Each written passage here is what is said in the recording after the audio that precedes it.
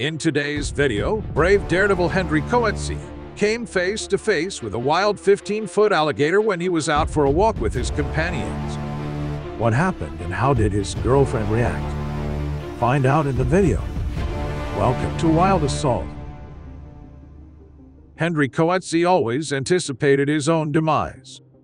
He frequently mentioned it while being aware that his life of adventure was hastening his passing. But his desire for adventure won out. He described experiencing a severe depression in his memoirs. Once every expedition was complete. When he was alone himself, straining himself to the very limit, he was only ever content. In South Africa, Henry was raised. While he struggled in school and found it uninteresting, he excelled in the arts. He traveled after receiving his degree before enlisting in the military at the age of 21. He was back on the desolate continent, searching for excitement. In 1997, travelers looking for adventure were flocking to the Great Zambezi River, which borders Zimbabwe and Zambia. Bungee jumps and skydives are organized by outfitters over the magnificent Victoria Falls, Yet whitewater rafting was the most well-liked activity. Henry, a brazen 21-year-old who had never rowed or kayaked a river before, managed to secure a position with Peter Meredith's whitewater rafting business. Henry first practiced rolling and paddling a kayak in a swimming pool before moving on to one of the most technologically advanced commercial rivers. He immediately gained popularity as a guide after leading tourists through Grade 5 rapids. On one occasion, the entire gang had to portage their rafts and kayaks around hazardous class, according to Peter, who described Henry as having more balls than wits. Six quickly.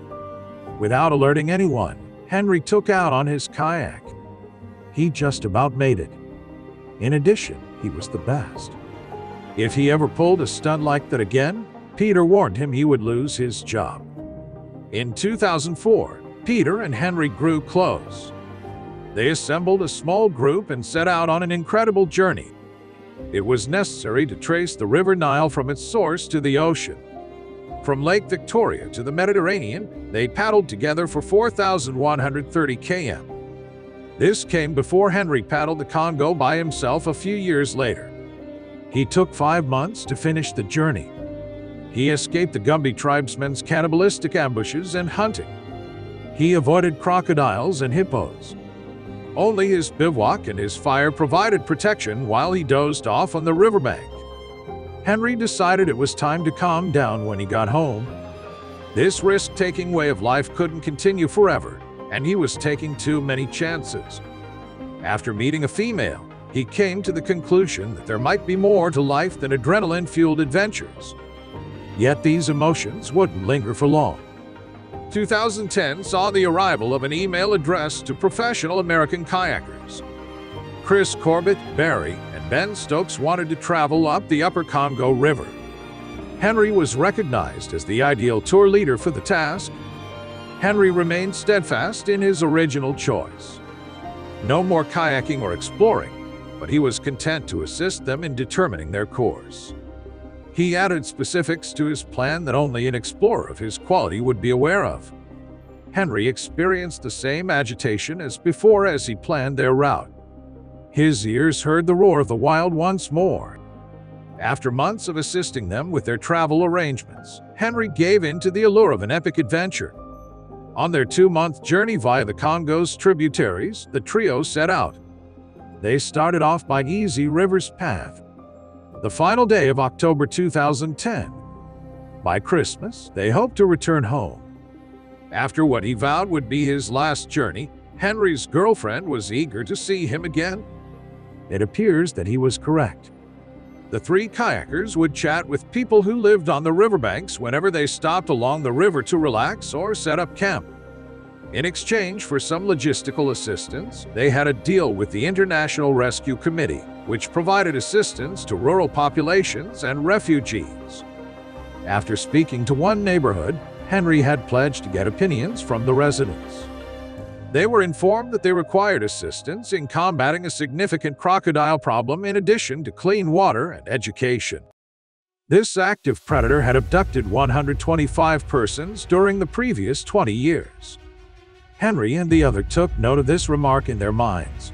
The group had been paddling for some time on December 7, 2010, when they encountered a sudden curve in the river. Henry had to teach Ben and Chris how to kayak in the African bush despite the fact that they were experienced paddlers and well known in the extreme sports community.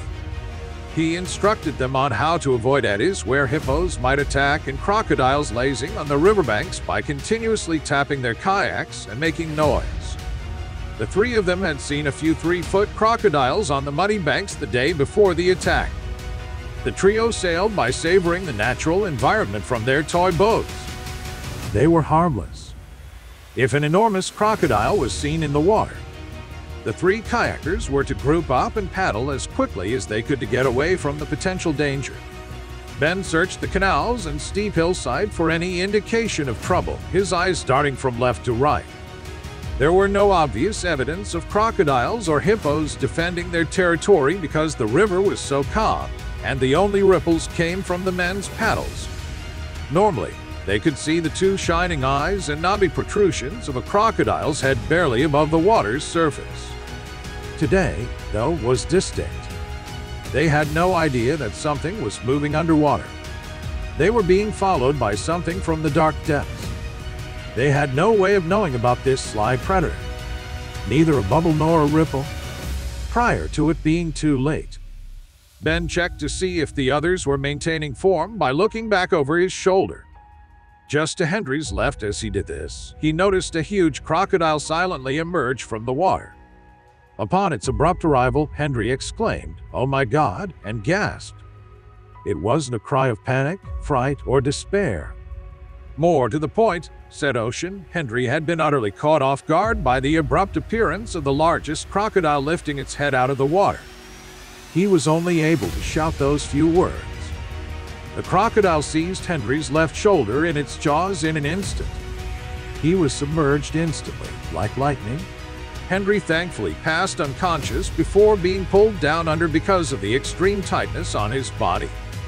The crocodile was estimated to be 15 feet long and more than 2,000 pounds based on the size of its head.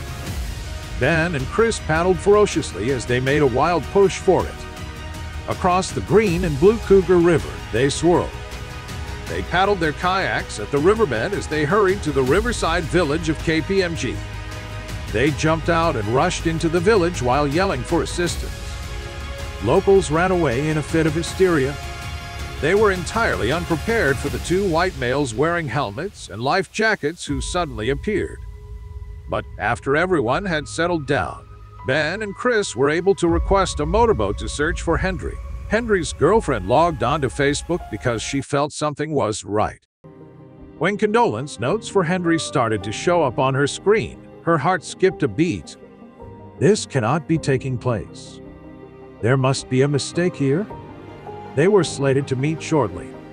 He was getting close to finishing his journey. His very last journey. On New Year's Eve, Henry's girlfriend continued to make her way to the Eugen bar where they had planned to meet thanks to the low illumination and heavy bass rhythm of the music. She looked all over the misty dance floor for Henry, holding out hope after hope that she would spot that brilliant, self-assured smile emerge from the crowds. The timer rang out 12. Henry was not present when the partygoers broke out in cheers. He had met his unfortunate wild assault,